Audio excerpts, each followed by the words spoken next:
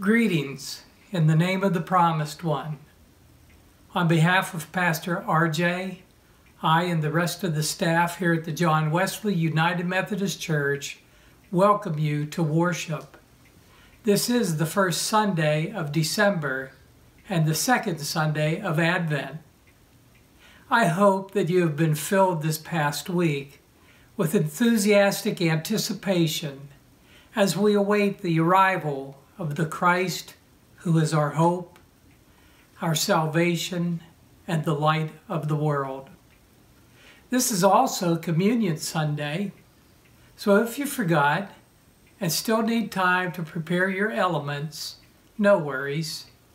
Just hit the pause button so you can gather your bread, crackers, juice, or wine. For those of you who want to follow along with today's scripture reading before the message, go ahead and pre-mark your Bibles. The text for today's message, the gift of peace, will be from the Gospel writer Luke, chapter 2, verses 1 to 14. Let us prepare our hearts for worship as we light the second candle of Advent. Now is the time to worship.